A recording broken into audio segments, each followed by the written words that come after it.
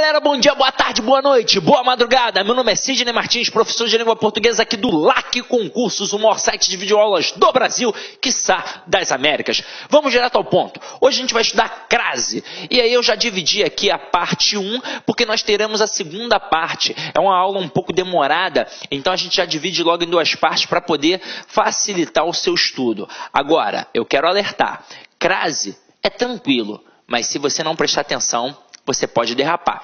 E eu não quero aluno meu dando mole em questão de crase no concurso. Afinal de contas, o aluno bem preparado sempre vai acertar. E você, nosso aluno, sempre vai acertar. Então, vamos lá. Vamos começar com a brincadeira. Primeira coisa que eu vou fazer aqui, ó, galera, é perguntar a vocês o nome desse camaradinha que está aqui em cima do A. Muito aluno, às vezes, responde crase. E cuidado, porque isso é questão de prova. O nome desse camarada aqui não é crase. O nome desse camarada aqui é acento grave indicativo do fenômeno da crase. O que é o fenômeno da crase? É a fusão entre duas vogais idênticas. No caso, A mais A. Agora, é o único caso de crase que a gente tem na língua portuguesa? Não. Na verdade, nós temos diversos casos de crase na língua portuguesa e em outras línguas, como o francês, o alemão, o inglês e por aí vai. Agora, vamos observar um caso bem peculiar. A palavra dor que nós conhecemos, ela já foi dolore, ela já foi dolor, ela já foi dor, até finalmente chegar à palavra dor. Então a palavra foi mudando com o tempo. E nesse momento aqui, ó, do dor para dor, teve ou não teve uma fusão entre duas vogais idênticas? Teve. A gente chama isso de crase. Agora, isso aqui cai na tua prova de concurso público? Não. Isso cai na prova do professor de língua portuguesa, quando ele vai fazer uma especialização, um mestrado, um doutorado, ou até mesmo uma prova específica para professores de língua portuguesa. Aí sim, porque a banca quer saber se aquele professor de língua portuguesa domina o processo de variação diacrônica, ou seja, a história da língua. Não é só o processo fonológico que está ali, não. Agora, por que isso daqui cai muito e aquilo dali não cai para a gente. Porque aquilo dali é apenas um processo fonológico. Realmente, fusão entre duas vogais idênticas. Agora, aqui também é um processo fonológico? Sim, afinal de contas, o princípio é a fusão de duas vogais idênticas. Mas também tem um processo morfológico. Porque aqui são classes gramaticais diferentes. Eu tenho a preposição e eu tenho a artigo artigo. E o principal, além de fonologia e morfologia, nós também temos o caso da sintaxe. Afinal de contas, é exatamente por esse motivo que a aula de crase vem depois da aula de regência, porque é um processo de regência. Qual é a regra geral de crase? O termo anterior vai exigir a preposição a e o termo posterior vai admitir o artigo a. Tá aí, ó, para você, ó, a regra geral de crase. Vou te mostrar, ó. Deixa eu apagar aqui.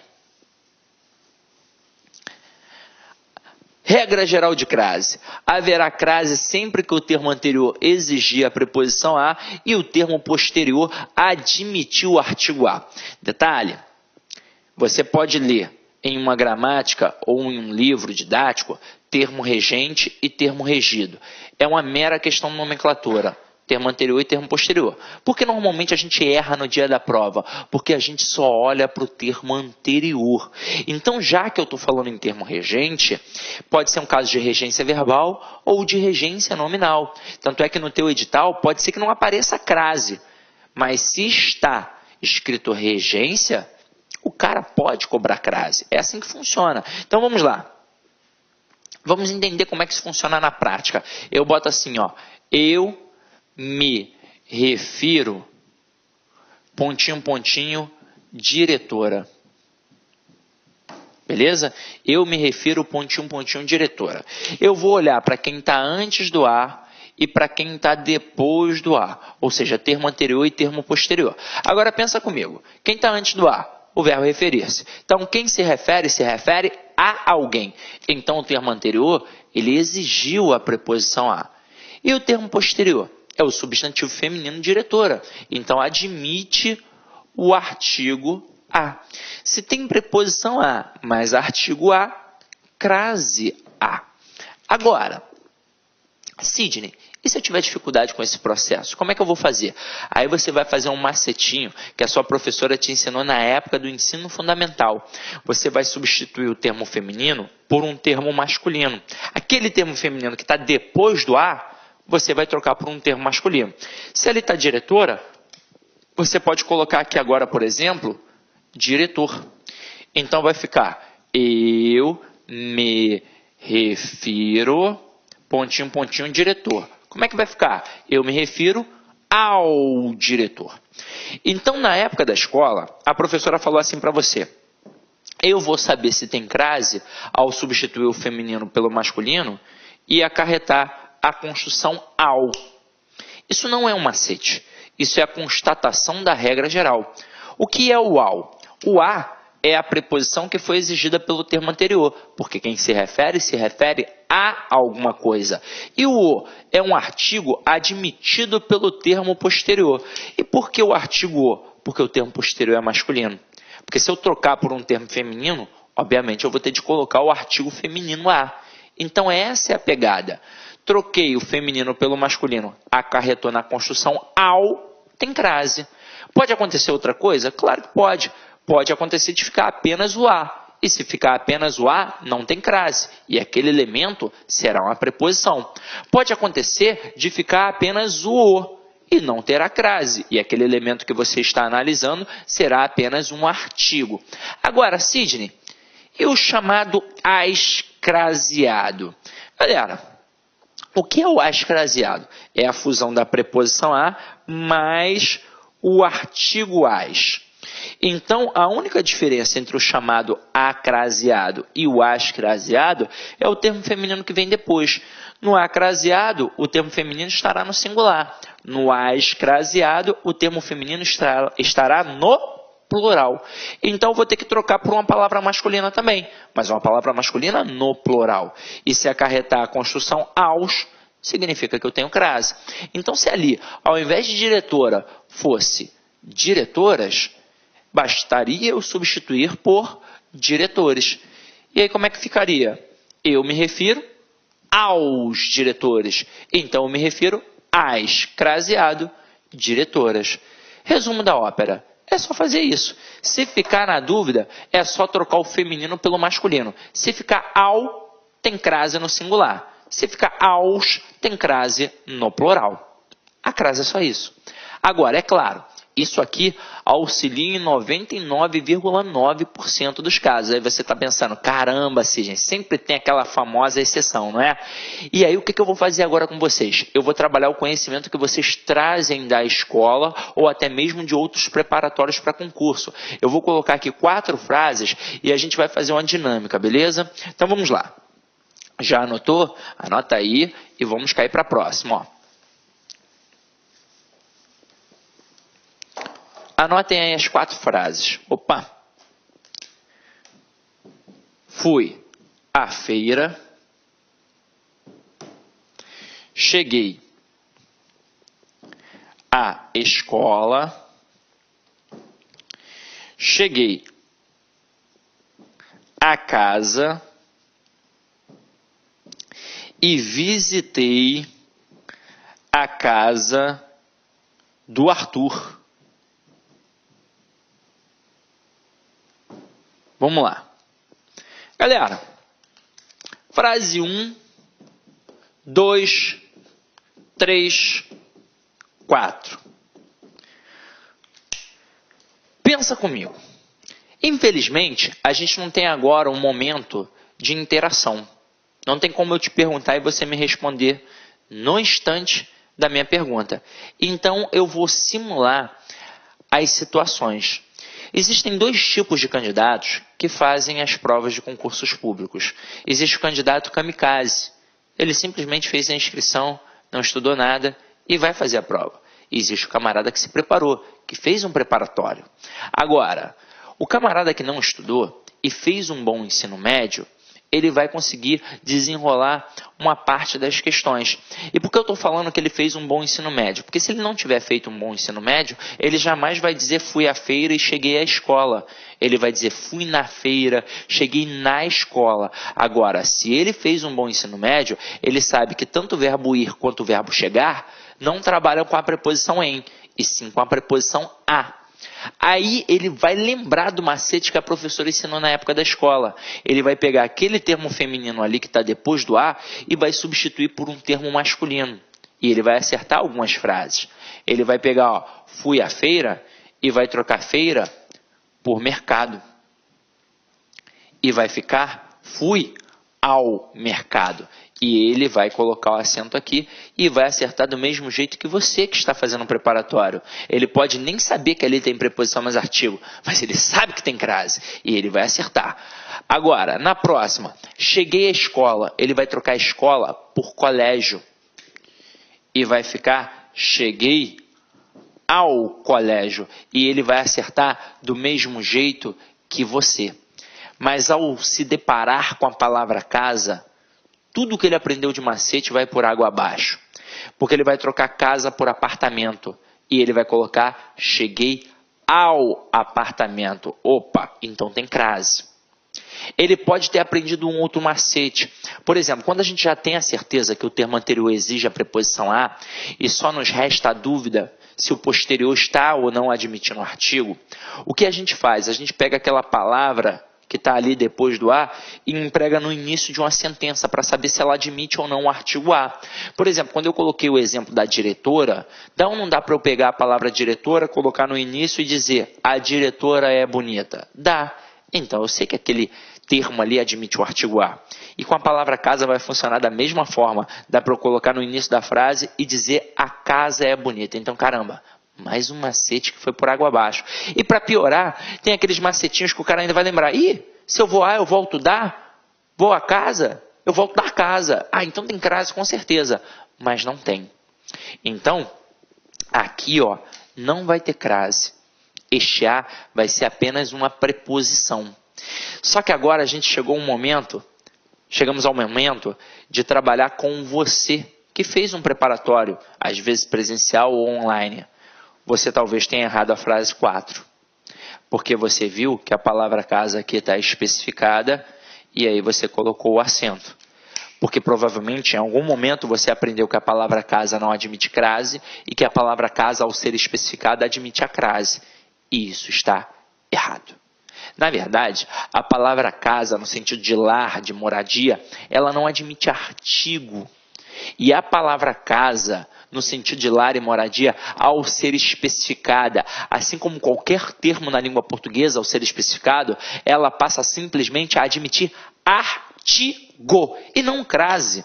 Porque para ter crase tem que ter preposição mais artigo. Se passou a admitir o artigo, não é o elemento primordial para ter a crase. Então, olha para o termo anterior. É o verbo visitar quem visita, visita alguém. Visitei o meu primo. Então, um verbo transitivo direto. Se é um verbo transitivo direto, não pede preposição. E se aqui não pede preposição, não tem como ter crase de jeito nenhum. Esse A aqui é apenas um artigo. Caramba, Sidney, você está de sacanagem com a minha cara. É sério isso? É sério. Meu irmão, eu vou mostrar para você. Vamos comparar a palavra escola à palavra casa para eu provar que a palavra casa não tem artigo. Então vamos lá. Você fica em escola ou você fica na escola? Você fica na escola. Você fica em casa ou você fica na casa? Você fica em casa. Você sai de escola ou você sai da escola? Você sai da escola. Você sai da casa ou você sai de casa? Você sai de casa. Então reparem que com a palavra casa eu usei apenas as preposições. Por quê? Porque não tem artigo. Agora, e com a palavra escola? Eu usei o na, que é a contração da preposição em mais o artigo a, e eu usei o da, que é a contração da preposição de mais o artigo a. Então, meu companheiro, a palavra escola admite o artigo. E por conta da regra geral, tem a crase. Cheguei à escola. Quem chega, chega a algum lugar. Então o termo anterior está exigindo a preposição a. E o posterior, acabamos de ver, admite o artigo. Então se tem preposição mais artigo, portanto tem o quê? A crase. Agora, fui à feira. Eu fico na feira e eu saio da feira. Então a palavra feira é igual à palavra escola, ela admite o artigo. Então, pela regra geral, ao dizer fui à feira, também vai ter crase, porque se eu fui, eu fui a algum lugar. Termo anterior exigiu a preposição a, e o posterior admite o artigo a, então tem crase. Agora, na frase cheguei à casa, você que fez cursinho, com certeza não colocou o acento aqui, porque você aprendeu que a palavra casa não admite a crase. Mas por que a palavra casa não admite a crase? Porque ela não admite a artigo. Então, na frase cheguei a casa, o termo anterior exige a preposição a. Quem chega, chega a algum lugar. Mas como posterior não admite artigo, não tem crase, porque o a aqui vai ser única e exclusivamente apenas uma preposição. E crase é fusão de a preposição mais a artigo. Agora, na frase 4 visitei a casa do Arthur. Vamos comparar a expressão casa à expressão casa do Arthur. Você fica em casa e você sai de casa, mas você fica em casa do Arthur ou na casa do Arthur? Na casa do Arthur. Você sai de casa do Arthur ou você sai da casa do Arthur? Você sai da casa do Arthur. Então a palavra casa, ao ser especificada, realmente passou a admitir artigo apenas mas como o termo anterior não exigiu a preposição, esse a aqui é apenas um artigo. Detalhe, é importante saber isso, porque de vez em quando as bancas não perguntam se tem crase ou não. Simplesmente pergunta qual é a função morfológica da letra A. E é importante saber identificar se é um artigo, se é uma preposição. Agora, Sidney, não vai ter crase então com a palavra crase especificada? Vai, basta a gente ter as exigências da regra geral. Então eu coloco assim, ó, cheguei a casa do Arthur. Frase 5. Então, meu companheiro, agora vou olhar para o termo anterior e para o termo posterior. Quem chega, chega a algum lugar. Então, o termo anterior exigiu a preposição a. E o posterior é a palavra casa. Se fosse apenas a palavra casa, não teria artigo, então não teria crase. Mas a palavra casa foi especificada. E nós já sabemos que a palavra casa, ao ser especificada, assim como qualquer outro termo na língua portuguesa, ao ser especificado, passa a admitir artigo. Então o anterior está exigindo a preposição a e o posterior está admitindo o artigo a. Então na frase, cheguei à casa do Arthur, tem crase. E aí, tranquilo ou não tranquilo? Galera, tudo que a gente vai estudar a partir de agora depende apenas disso. Da regra geral. O termo anterior vai exigir a preposição a e o posterior vai admitir o artigo a. Nós vamos estudar quatro casos específicos agora sobre a crase. Quatro casos. Mas é o seguinte, quase todos dependem apenas disso. Antes de partir para o primeiro caso, eu vou mostrar algo interessante em relação à crase, tá? Anotou aí o que tinha para anotar? Então vamos continuar aqui, ó. Vou apagar, tá? Dá um pause, anota, coisa e tal. Então vamos lá.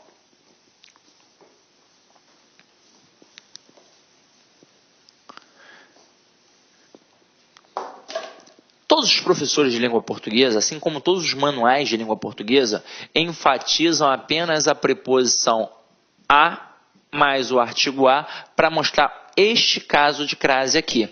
Mas a gente sabe que também existe a crase com os pronomes. Agora, por que os professores de língua portuguesa enfatizam sempre a fusão da preposição a com o artigo a, sabendo que a gente também vai ter crase com pronome? Porque isso aqui corresponde a 98% dos casos de crase na língua portuguesa. Então é óbvio que vai cair mais na prova. E se eu já aprendi a regra geral de crase, que o anterior exige a preposição a e o posterior admite o artigo a, se eu já aprendi o procedimento, com o pronome vai ser muito tranquilo. Porque é o seguinte, é óbvio que eu também posso ter crase com os demonstrativos aquele, aqueles, aquela e aquelas, e também com aquilo. Posso ter crase com os pronomes relativos a qual, e as quais, e com os demonstrativos a e as, quando forem iguais àquela e aquelas. Então a crase, ela acontece diante, basicamente, de um substantivo feminino. Mas ela pode ocorrer também diante de pronomes.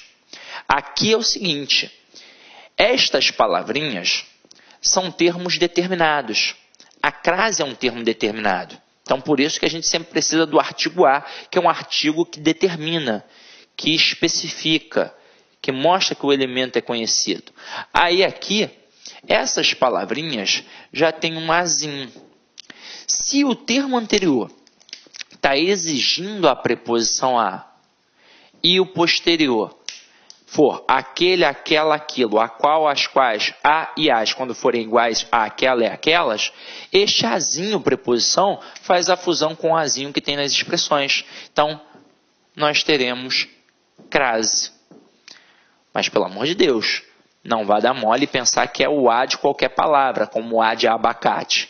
Porque abacate, sem o artigo, não está especificado. Então, estes termos especificam. Então, eu coloco assim, ó. Eu me refiro àquele menino da rua A. Beleza. Muito candidato já vai pensar, ué, não tem crase, não tem termo feminino, mas é o seguinte, eu também posso ter com esses pronomes. Agora, olha aqui o camaradinha. Apareceu aquele, aquela ou aquilo tem de ficar de olho se o termo anterior tal não está exigindo a preposição a. Quem foi que apareceu aqui? O verbo referir-se. Então, quem se refere? Se refere a alguém. Então, o termo anterior exigiu a preposição a. Se o anterior exigiu a preposição a e o posterior é aquele, aquela ou aquilo, vai fazer a fusão com azinho então vai ter crase. Então na frase eu me refiro àquele menino, tem crase no pronome demonstrativo aquele. Na escola, normalmente, a gente aprende um macetinho. Eu lembro muito bem. O professor ensinava a gente a substituir o termo aquele pelo a este para ver se tinha ou não tinha crase. Então, ah, se você consegue substituir o aquele por o a este, tem crase.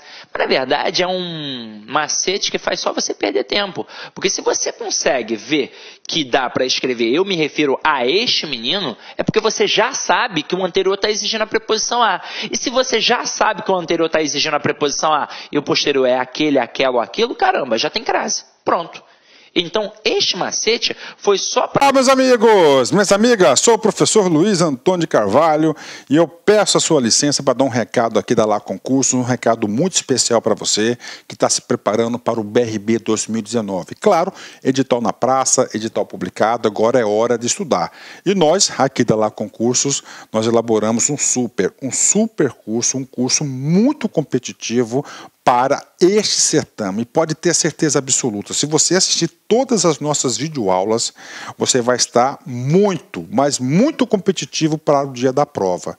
Isso eu te garanto. Nós fizemos dois super reforços, reforços para esse concurso. Primeiro, a área de conhecimentos bancários e a área de legislação específica. Esse edital como é sabido de todos, né, esse edital trouxe várias disciplinas que normalmente não são cobradas em concursos de carreiras bancárias, mas nós temos a expertise aí suficiente para promover é, esses assuntos de forma didática que você aprenda e, claro, que você pontue. Bacana, meus amigos? Então, olha só, esse vídeo aqui no YouTube é uma aula demonstrativa que nós estamos apresentando para vocês, tá? Uma aula demonstrativa.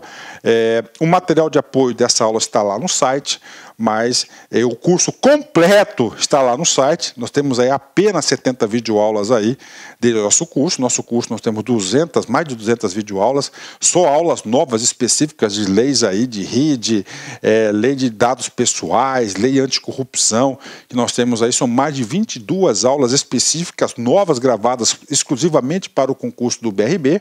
O nosso curso, atenção, ele custa apenas 10 parcelas de 20 reais, 120 dias de acesso e você vai ter direito também ao nosso projeto pedagógico, que é o Personal Coach, que é o estudo regime de metas. Vale a pena você conhecer, vale a pena experimentar. Bacana, pessoal? Pessoal do YouTube, então tá aí.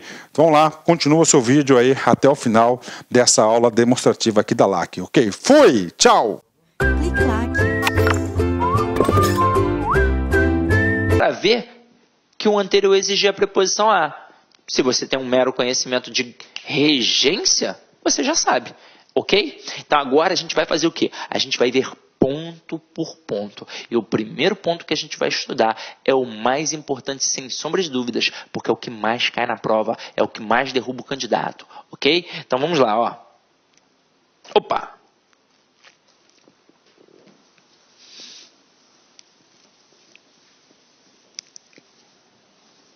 Deixa eu apagar aqui, beber uma aguinha aqui rapidinho.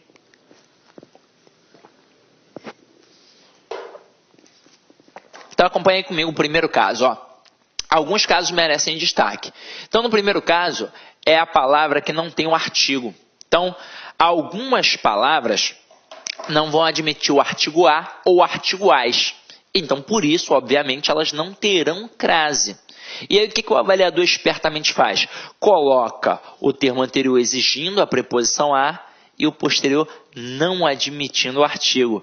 Mas o aluno normalmente tem a mania de olhar só para o anterior e está exigindo a preposição a. Então tem crase. Então a gente tem que começar a ficar esperto. Então vamos lá. Primeiro caso que a gente vai estudar aqui são os substantivos, substantivos masculinos. Então olha esse exemplo que eu coloquei aqui. Ó. Andamos a cavalo e íamos a pé. Pergunta boba que eu vou te fazer, mas tem toda utilidade. Por que nesses exemplos não tem crase? Vai, Pensa comigo, porque nós estamos diante de substantivos masculinos. E diante de um substantivo masculino, qual é o tipo de artigo que eu uso? É o artigo o. Então aqui é o cavalo, aqui é o pé. Então, se é o cavalo e o pé, não tem como eu confundir e achar que este A é a fusão da preposição a mais o artigo a. Afinal de contas, diante destas palavras, a gente não usa o artigo a, a gente usa o artigo o quando usa. Então, estes as que estão aqui, eles são apenas preposições. Agora eu te pergunto, vou fazer uma afirmativa estilo CESP, ó. Nunca há crase diante de substantivos masculinos. Certo ou errado? Errado. Tem um caso que admite a crase diante de um substantivo masculino. Que caso é esse? Quando está subentendida a expressão a moda de. Então acompanha aqui comigo, ó. Fiz um gol a Pelé. Provavelmente um golaço, matei no peito, fiz de bicicleta, alguma coisa assim do tipo. Então está subentendida a expressão a moda de. Se está subentendida a expressão a moda de, aí sim tem crase. Agora, e se eu botar assim, ó, comi um bife a cavalo. E a expressão bife a cavalo tem crase? Não tem crase. E caramba, Sidney, como não tem crase? Eu fui a um restaurante agora e tem crase. É, essa expressão é maravilhosa para poder cair na prova. Porque se você for a qualquer restaurante, pelo menos aqui no Rio de Janeiro, qualquer, seja na Baixada, seja na Zona Norte, seja na Zona Sul, você vai encontrar a expressão bife a cavalo com crase. E para piorar, a Rede Globo de televisão, recentemente, se eu não me engano, lá no ano de 2014, não é tão recente, né? Então, mas lá no ano de 2014, a Rede Globo fez uma série de reportagens linguísticas falando das expressões, como elas surgiram, coisa e tal, e falaram da expressão bife a cavalo. E o que a Rede Globo fez? Colocou bife a cavalo com crase. Imagina, meu companheiro, se você viu com crase no restaurante e viu com crase na Rede Globo, você vai pensar que tem crase. Afinal de contas, o que derruba muitas vezes o candidato numa prova não é a falta de conhecimento teórico, é o erro do cotidiano. Ele está tão adaptado a visualizar aquilo daquele jeito que ele passa a acreditar que aquilo é o certo. Então, bife a cavalo não tem crase. Aí você vai falar assim: ué, como não, Sidney? Não está subentendida a expressão a moda de? Não. Para estar subentendida a expressão a moda de, das duas, uma. Ou tem um cozinheiro chamado cavalo que eu, graças a Deus, não conheço, ou tem um local chamado cavalo, e eu também não conheço. Até mesmo porque a expressão bife a cavalo é um processo de economia linguística. O que é um bife a cavalo? É um bife com um ovo em cima da carne. Quando surgiu a expressão, era bife com um ovo montado a cavalo na carne. Até eu terminar de falar tudo isso, alguém comeu meu bife. Então, na verdade, na expressão bife a cavalo não tem crase, assim como não tem crase em frango a passarinho, porque nem cavalo nem passarinho criam moda. Então, este A aqui, assim como os outros exemplos que eu acabei de apresentar, do andamos a cavalo e do íamos a pé, é apenas uma preposição. Agora, se eu botar assim, ó, comi um bife a Oswaldo Aranha. Aí tem o cozinheiro Oswaldo Aranha, o chefe Oswaldo Aranha. Aí foi a moda Oswaldo Aranha. Aí tem crase. Agora, bife a cavalo não tem crase, assim como frango a passarinho também não tem crase. Ok? Tranquilo ou não tranquilo? Tranquilo, né? Agora a gente vai para o segundo caso aí, ó. Com os verbos no infinitivo. Detalhe: não é só o verbo no infinitivo, é qualquer verbo. Porque diante de qualquer verbo não tem como ter o artigo. Afinal de contas, o verbo não tem distinção de gênero. Agora, por que a gente enfatiza os verbos no infinitivo? Porque é diante do verbo no infinitivo que o falante comum da língua portuguesa erra. Porque ele acha que tem uma falsa força naquele A. Então ele diz assim: não tenho nada a declarar e esse A tem força. Começamos a sofrer e esse A tem força. E a pior expressão que aparece aí nas provas é a expressão a partir. Direto. Seu Joaquim, que tem uma barraquinha de cachorro-quente ali na esquina, a barraquinha dele tem erro. Porque ele deve ter pensado assim, ó, cachorro-quente a partir de cinco reais. Seu Joaquim é burro? Claro que não. Ele só cometeu uma confusão prosódica. Ele achou que tinha força quando na verdade isso não existe. Eu digo, na língua portuguesa aqui no Brasil não existe. Então eu digo, Fui à feira, cheguei à escola, cheguei à casa, cheguei à casa do Arthur, visitei a casa do Arthur. Vocês viram que em determinados momentos o A era só artigo, ou só preposição, ou tinha a fusão. E ainda assim, em todos os casos, a pronúncia foi sempre a mesma. Então não tem esse negócio de dizer que tem força no A. Então aqui, ó, não tem como. Até mesmo porque este A está diante de um verbo. E se é verbo, não tem distinção de gênero, não tem artigo. Este A só pode ser uma preposição, ok? Vamos para o próximo aí, ó. Letra C. Diante da maioria dos pronomes, nós não temos artigos. Opa! Alguns pronomes admitem artigos, como senhora, dona, mesma, própria, senhorita e madame, e também outra e outras. Com isso, poderá ocorrer a crase. Então vamos lá, vamos entender isso com calma, ó. Vou colocar aqui, ó. Refiro-me a ela e refiro-me à mesma pessoa. Eu não disse que todos os pronomes não têm artigo. Eu disse que a maioria dos pronomes não tem artigo. Então isso significa que ainda existem alguns que têm. Quem são eles? Dona, senhora, madame, senhorita, mesma, própria e outra. Preciso gravar essa listinha? Seria bom, mas não precisa. Basta você continuar fazendo um macetinho que você aprendeu com a sua professora na época da escola, trocar o termo feminino por um termo masculino.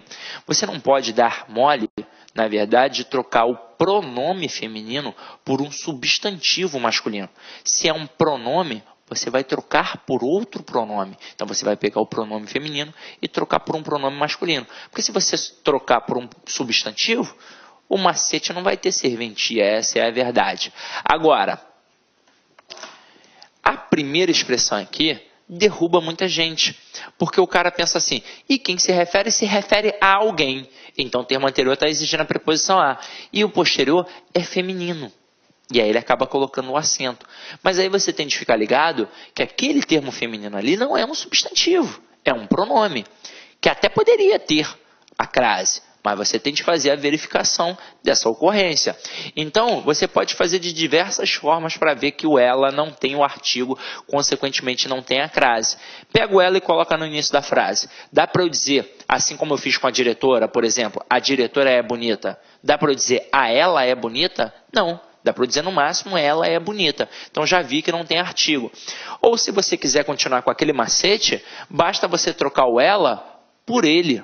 Vai ficar refiro-me ao ele? Não, vai ficar refiro-me a ele.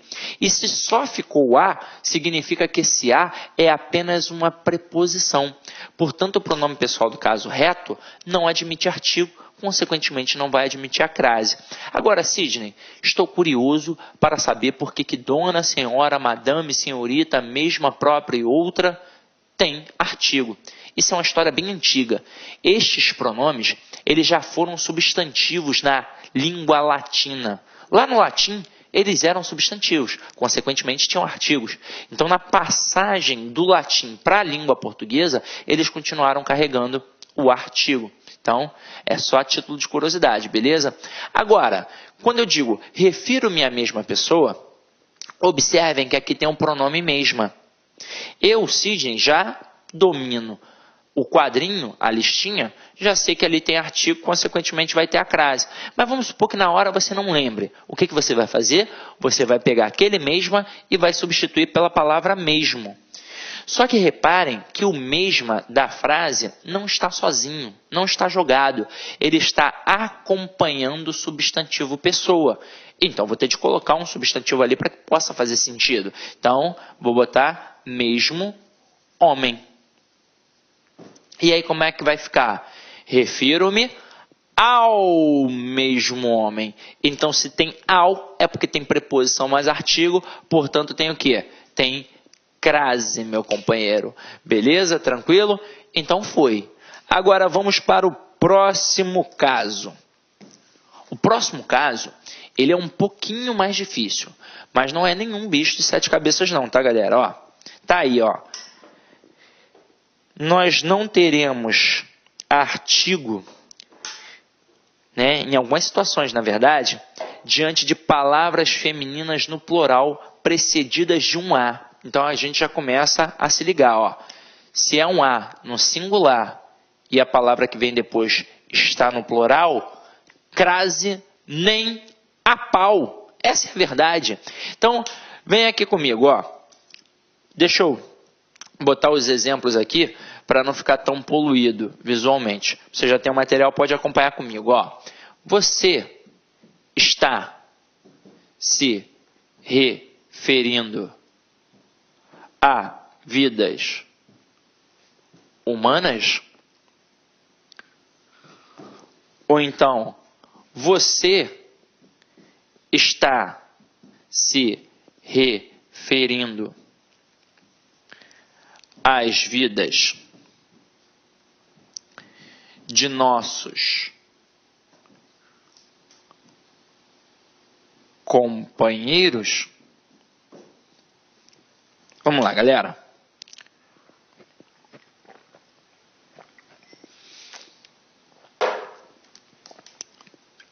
Com certeza você já viu essas expressões. Ora, o A sozinho, seguido de uma palavra feminina no plural.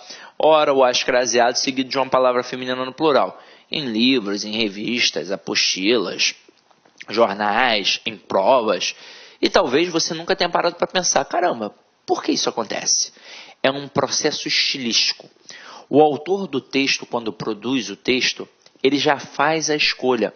Ele, na verdade, vai trabalhar uma questão de generalização generalização e uma questão de especificidade. Como assim, Sidney? Vamos lá. Quando eu generalizo um termo na língua portuguesa, eu não preciso de artigo. Agora, quando eu especifico, obrigatoriamente eu devo colocar o artigo. Então, olha a primeira frase. Você está se referindo a vidas humanas? Eu estou falando da vida de quem? De quem está assistindo a esta aula ou de todo mundo do planeta? De todo mundo. Então eu generalizei. Se eu generalizei, eu não preciso de artigo. Portanto, este a será apenas uma preposição. E por que eu sei que é preposição? Porque o termo anterior está exigindo, porque quem se refere se refere a alguém, beleza? Agora olha a próxima frase. Você está se referindo às vidas de nossos companheiros? Eu estou falando da vida de todo mundo do planeta? Eu selecionei, eu especifiquei, eu restringi. Eu especifiquei. Então agora não são quaisquer vidas, são as vidas de nossos companheiros. E o que eu faço com qualquer termo na língua portuguesa ao especificá-lo? Eu faço com que ele admita obrigatoriamente o artigo. Então, olha para o termo anterior e olha para o termo posterior. Então, aqui, ó, termo anterior e termo posterior. Termo anterior exige a preposição a, porque quem se refere se refere a alguém. Beleza? Agora, e o termo posterior? ele obrigatoriamente vai ter de ter artigo, porque ele foi especificado. Mas aí pensa comigo, a palavra está no singular? Não, a palavra é feminina no plural, então tem de utilizar o artigo as. A preposição mais as artigo é igual ao chamado as craseado. Agora, o que um maldito avaliador, aquele desgraçado, quer fazer contigo? Ele quer te ludibriar, ele quer te induzir ao erro. Então ele faz assim, ó. Você está se referindo a vidas humanas. E aí o candidato, na hora, no desespero, ele pensa assim, e quem se refere, se refere a alguém, está pedindo crase, pá! E bota, e não é. Eu tenho que olhar para o termo anterior e para o termo posterior. Crase assim é fusão do a preposição mais o artigo no singular. E a palavra que está depois está no plural. Então, como eu disse a vocês, a no singular mais palavra no plural, crase nem a pau, beleza? Então aqui não tem crase de jeito nenhum, ok? Agora a gente vai para o próximo caso. E o próximo caso, o próximo caso aqui é sensacional, galera. Porque ele parece ser muito simples, mas ele é a base para um dos maiores erros de crase que a gente tem na língua portuguesa aqui no Brasil. Um dos maiores erros. Então vamos lá. Não ocorre crase nas expressões formadas por palavras repetidas, femininas ou masculinas. Cara a cara, gota a gota, ombro a ombro, dia a dia, passo a passo, frente a frente e por aí vai. Então, nas expressões com palavras repetidas, sejam elas femininas ou masculinas, não tem crase. Então, eu coloco aqui, ó, frente a frente. Com certeza, se você estuda, você já leu que essas expressões não têm crase. Agora, em algum momento alguém explicou por quê? Duvido. Nenhuma gramática explica isso. Não tem isso no Celso Cunha, não tem isso no Bechara, não tem isso no Rocha Lima, não tem isso no Azeredo, não tem isso no Said Ali, não tem isso no Manuel Pinto Ribeiro, não tem isso no Cláudio César Henriques. Caramba, e aí? O que você faz? Imagina se o avaliador, por exemplo, não perguntar sobre crase. Imagina o seguinte: imagina um avaliador destacando A e perguntando a função morfológica. Ou pior, imagina um avaliador destacando a expressão e perguntando a função sintática. O que você vai fazer? Vai sentar e chorar? Não, porque você é aluno do tio Sidney e eu vou dizer para você o que acontece ali. Aqui, na verdade, nós temos um caso de paralelismo sintático. Que raio é isso, Sidney? Então vamos lá. Gente, aqui tem um caso de paralelismo sintático, porque eu tenho dois termos de igual concepção. Então eu vou trabalhar olhando para o que acontece diante dos dois termos, para traçar um paralelo. Então acompanha aqui comigo. O que tem diante do primeiro elemento? Nada. Então, se não tem nada, significa que não tem artigo. E se não tem artigo diante do primeiro elemento, obrigatoriamente não tem artigo diante do segundo. E se não tem artigo, não tem crase. Então, qual vai ser a classe gramatical daquele A ali? Vai ser uma preposição. Por quê? Porque está ligando duas palavras. E qual é a função sintática então da expressão? É um adjunto adverbial modal. Quer ver? A vítima ficou frente a frente com a saúde. Olá, meus amigos, minhas amigas, sou o professor Luiz Antônio de Carvalho e eu peço a sua licença para dar um recado aqui da Lá Concurso, um recado muito especial para você que está se preparando para o BRB 2019. Claro, edital na praça, edital publicado, agora é hora de estudar. E nós, aqui da Lá Concursos, nós elaboramos um super, um super curso, um curso muito competitivo para este certame. E pode ter certeza absoluta, se você assistir todas as nossas videoaulas, você vai estar muito, mas muito competitivo para o dia da prova. Isso eu te garanto. Nós fizemos dois super reforços, reforços para esse concurso. Primeiro, a área de conhecimentos bancários e a área de legislação específica. Esse edital como é sabido de todos, né, esse edital trouxe várias disciplinas que normalmente não são cobradas em concursos de carreiras bancárias, mas nós temos a expertise aí suficiente para promover é, esses assuntos de forma didática que você aprenda e, claro, que você pontue. Bacana, meus amigos? Então, olha só, esse vídeo aqui no YouTube é uma aula demonstrativa que nós estamos apresentando para vocês, tá? Uma aula demonstrativa. É, o material de apoio dessa aula está lá no site, mas é, o curso completo está lá no site. Nós temos aí apenas 70 videoaulas aí do nosso curso. Nosso curso nós temos 200, mais de 200 videoaulas, só aulas novas específicas de leis aí de RID, é, lei de dados pessoais, lei anticorrupção, que nós temos aí, são mais de 22 aulas específicas novas gravadas exclusivamente para o concurso do BRB. O nosso curso, atenção, ele custa apenas 10 parcelas de 20 reais, 120 dias de acesso e você vai ter direito também ao nosso projeto pedagógico, que é o Personal Coach, que é o estudo regime de metas. Vale a pena você conhecer, vale a pena experimentar. Bacana, pessoal? Pessoal do YouTube, então tá aí. Vamos lá, continua o seu vídeo aí até o final dessa aula demonstrativa aqui da LAC, ok? Fui! Tchau! Clique não é um modo como ela ficou? Então adjunta adverbial modal. Rubens Barrichello ficou lado a lado com, sei lá, Sebastian Vettel. Não é um modo como ele ficou? Então adjunta adverbial modal. Agora, você já sabe porque não tem crase. Agora, isso aí, Sidney, é tranquilo. Onde é que está o grande erro? Está numa expressão que vai além dessas expressões com palavras repetidas e que normalmente tem muito erro no seu dia a dia. Olha só, a expressão de segunda a quinta. Eu não botei de segunda a sexta, eu botei de segunda a quinta, porque é um caso específico que tem aqui numa pizzaria bem famosa no Rio de Janeiro, que é a pizzaria Parmê, que tem uma promoção do refil, né, que você come pizza à vontade, bebe refrigerante à vontade, e aí eles colocam de segunda a quinta com crase refil R$ 25,90, ó, fazendo uma promoção aí para Parmê. Detalhe, a Parmê não é a barraquinha de cachorro-quente do seu Joaquim. A Parmê, ela é uma grande empresa. Eu até me orgulho de dizer que a Parmê entrou em contato comigo.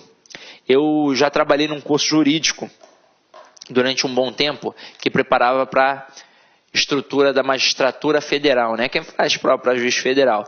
E aí eu fiz uns vídeos de dicas e a Parme entrou em contato comigo online. Eu pensei, caraca, ferrou, vamos processar. Mas, pô, o dono do curso era um juiz federal. Eu falei, ah, tá tranquilo.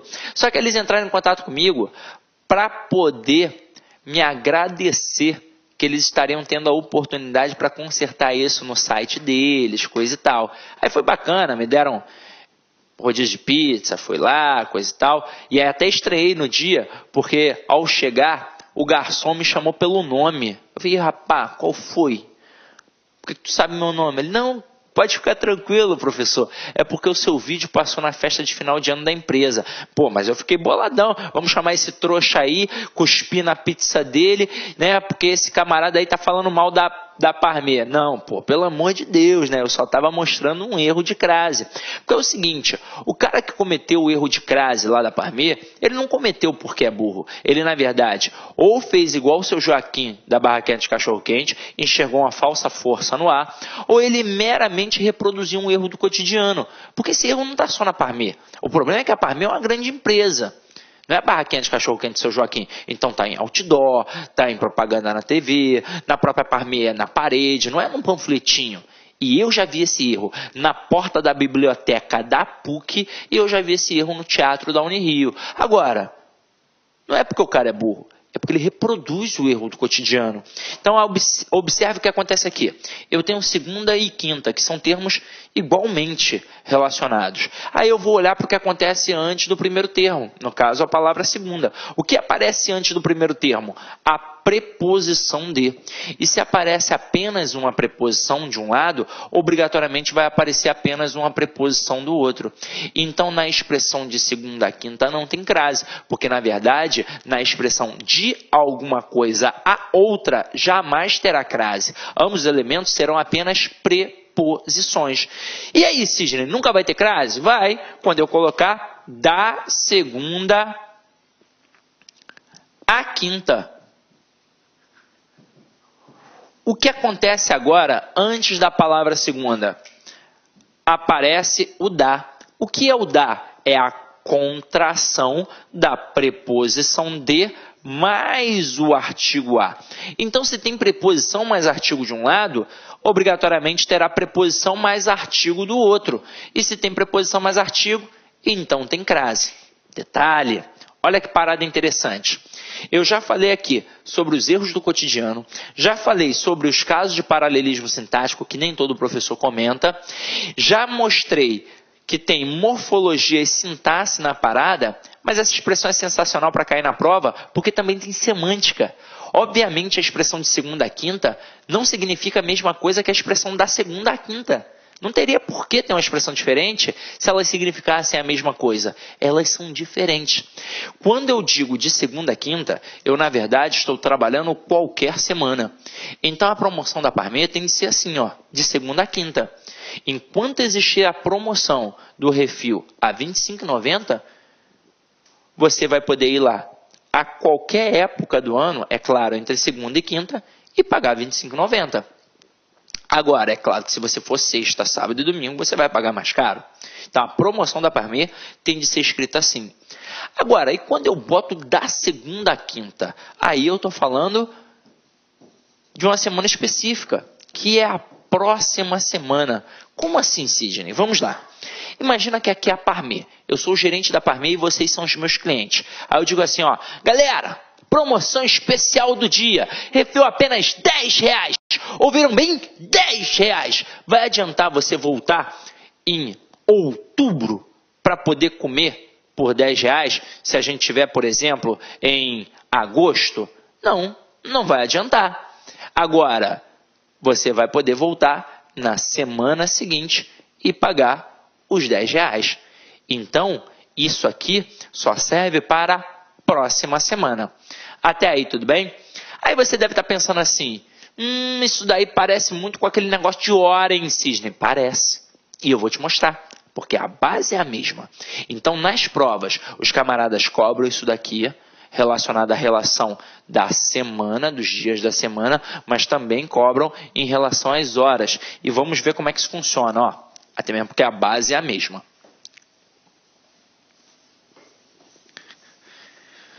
Você já deve ter visto em muito local assim. Aula das 9 às 11 horas. Só que você visualiza assim, ó. 9 horas às 11 horas. Se você ficar muito preso ao paralelismo sintático, você vai falar, porra, essa expressão está errada.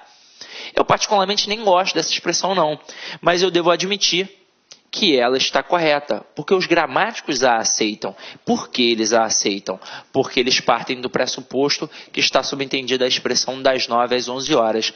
E por que eles partem desse pressuposto? Porque na verdade nós temos duas expressões perfeitas. Nós temos das 9 às 11 horas e nós temos de 9 a 11 horas.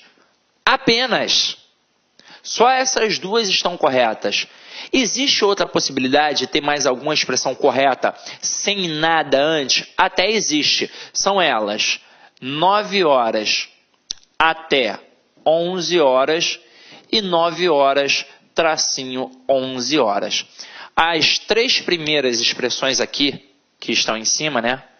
9 às 11 horas, 9 até 11 horas, 9 tracinho 11 horas. Essas três estão corretas, beleza? Mas elas não vão cair na sua prova. Na sua prova, o que, que o camarada vai botar? Ele vai botar das 9 às 11 horas, ele vai botar de 9 a 11 horas, ele vai botar de 9 às 11 horas com crase e é capaz daquele amaldiçoado colocar também de 9 às 11 horas sem a crase. Meu companheiro, só as duas primeiras estão certas. As outras duas estão erradas. Mas é o seguinte: se ele bota a primeira expressão, ele não derruba ninguém. Todo mundo vai acertar. Mas a partir do momento que ele começar a colocar as outras, ele vai derrubar meio mundo. Porque se ele colocar de 9 a 11 horas, ninguém fala assim no dia a dia. Então você vai achar que está errado, vai achar que está estranho e vai dar mole. Porque na verdade está certo. Agora, na hora que ele colocar de 9 às 11 horas, independentemente de colocar com ou sem crase, sabe o que vai acontecer com o candidato? Ele vai pensar, ué, tá certo porque é assim que ele fala no dia a dia, todo mundo fala assim no dia a dia. Então, se você não, não se policiar, você vai dar mole. Só que é o seguinte: o das 9 às 11 horas é incontestável. Das é preposição mais artigo. Então, se tem preposição mais artigo de um lado, tem preposição mais artigo do outro. Agora, na hora que eu coloco apenas de de um lado, é isso que você tem de entender. Se eu coloquei de alguma coisa a outra, se só tem preposição de um lado, só pode ter preposição do outro. Então, por isso, vou até pontuar aqui, ó, vou botar frase 1, frase 2, frase 3, frase não, né, expressão 1, 2, 3 e 4. Então, vamos lá.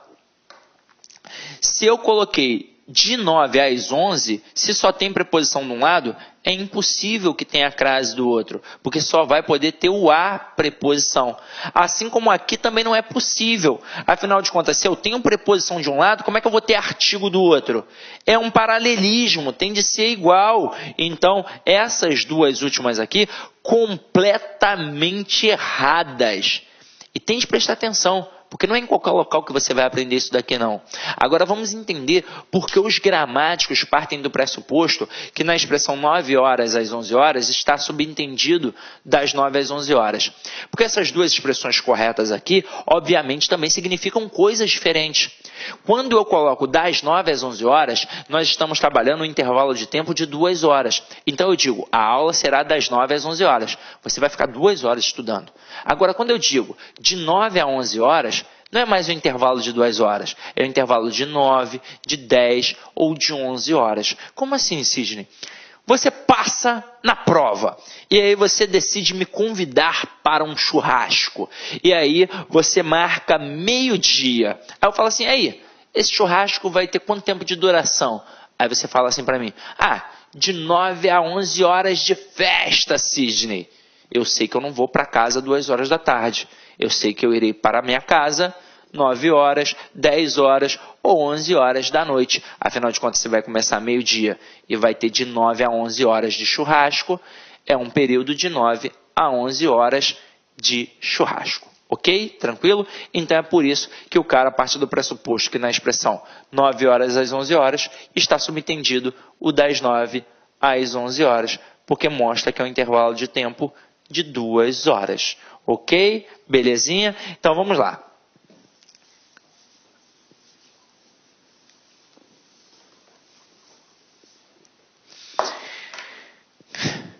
Galera, o próximo aí é muito tranquilo. É o ponto 2. Ponto 2 é o seguinte: nas expressões adverbiais de lugar, deve-se fazer a verificação da ocorrência por meio da troca do termo regente. Então, todas essas expressões adverbiais de lugar que indicam nome de rua, nome de bairro, nome de cidade, nome de país, nome de continente, a gente vai fazer a verificação da ocorrência da crase através da troca do termo regente, que é o primeiro termo, é o termo anterior. Então, aqui tem, vou a Bahia e vou a Recife. Se eu estou indo, eu vou colocar voltando. Então, olha aqui comigo, ó. volto da Recife ou de Recife? Eu volto de Recife. Então é o seguinte, se eu volto de, esse de é apenas uma preposição. Então a palavra Recife, ela não admite artigo. E é por isso que na frase vou a Recife, não tem crase, porque o a será apenas uma preposição que foi exigida pelo termo anterior. Afinal de contas, se eu vou, eu vou a algum local. Mas a palavra Recife, acabamos de ver, não admite artigo, portanto não tem crase. Agora, quando eu coloco vou a Bahia, eu coloco, para poder fazer a verificação, volto de Bahia ou volto da Bahia? Volto da Bahia. E o que é o da? é a contração da preposição de mais o artigo a. Então, se tem este a aqui, ele serve para demonstrar que a palavra Bahia admite o artigo a. Então, na frase vou à Bahia, tem crase pela regra geral. O termo anterior exigiu a preposição a, se eu vou, eu vou a algum local, e o posterior admitiu o artigo a. Então tem crase. Agora sim, gente, tem mais alguns casos? Tem. Acompanha aqui comigo, ó. Eu coloco assim: vou a Recife. Caraca, o meu R é horroroso. Então vamos lá, ó. Vou, agora melhorou. Vou a Recife das belas praias. Na verdade, eu até recomendo. Se você não conhece Recife, vá conhecer, porque é sensacional, cidade linda, maravilhosa. Eu fui algumas vezes e não me arrependi. Tanto a cidade ali, Praia de Boa Viagem, quanto a, né, o entorno ali, Porto de Galinhas, sensacional. Vá, passa na prova e vá conhecer Porto de Galinhas. Só que aí repara só, se eu tivesse colocado apenas voo a Recife, não teria crase, porque Recife não admite ar artigo. Agora, é qualquer Recife? Não, eu especifiquei. É Recife das belas praias. E quando eu especifico um termo na língua portuguesa, o que, é que acontece com esse termo? Ele passa a admitir artigo. É como se eu dissesse, volto da Recife das belas praias. Então, ó, tem crase. Beleza? Tranquilo? Na escola você provavelmente aprendeu uma, um macetinho, né? Uma observação assim, ó. Se vou a e volto da, acento lá no A. Se vou a e volto de, acento para que. Eu tive uma professora sensacional na época do ensino fundamental, chamada Vera, né? Saudosa tia Vera, que Deus a tenha. E ela ensinou isso para mim através de uma musiquinha, no ritmo de Jingle Bell. Porra, eu nunca mais esqueci. Era sensacional. Era assim, ó. Se voar e volto dar, assento lá no ar. Se voar e volto de, assento para quê? Rei! Hey! Então a gente ficava sentadinho e aí no final a gente gritava, né? O rei, porra, sensacional. Eu só quero mostrar a vocês que mais uma vez esse macetinho era a constatação da regra geral, como a gente acabou de visualizar. Se voar e volto dar, o que é o dar? O dar é a preposição de mais o artigo a. Então, se tem preposição mais artigo, crase A. Agora, se voar e volto de, o de o quê? O de é apenas uma preposição. Então, por isso, crase para quê? Só tem preposição, não tem crase. Ok? Tranquilo ou não tranquilo? Então, meu companheiro, nós vimos os dois primeiros casos os próximos dois casos, os exercícios de fixação e as questões de provas de concursos públicos, a gente vai dar uma olhada na segunda parte da aula, ok? Então, meu companheiro, minha companheira, vá lá beber uma água, tomar um café e quando voltar, a gente continua a segunda parte, tá?